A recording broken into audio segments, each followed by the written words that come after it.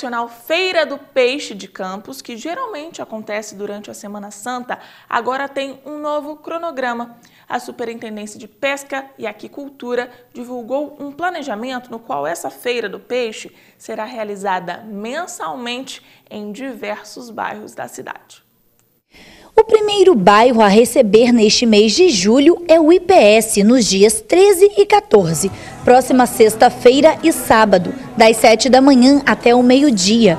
A Feira do Peixe, que traz pescados frescos e com ótimos preços para a população, traz nesta vez 10 bancas com peixes como tilápia, traíra, camarão, corvina, além de crustáceos e temperos vendidos exclusivamente por pescadores campistas de Lagoa de Cima, Ponta Grossa, Farol de São Tomé, Lagoa do Campelo, entre outros locais.